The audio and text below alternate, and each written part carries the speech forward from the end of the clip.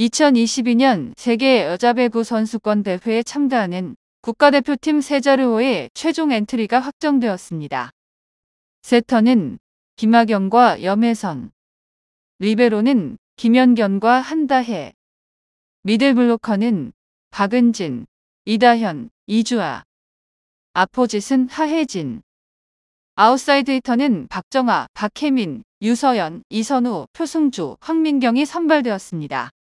이번 세계 선수권 대회는 네덜란드와 폴란드에서 9월 23일부터 10월 15일까지 열리며 대표팀은 9월 11일 불가리아로 출국하여 8일간 전지 훈련을 실시합니다.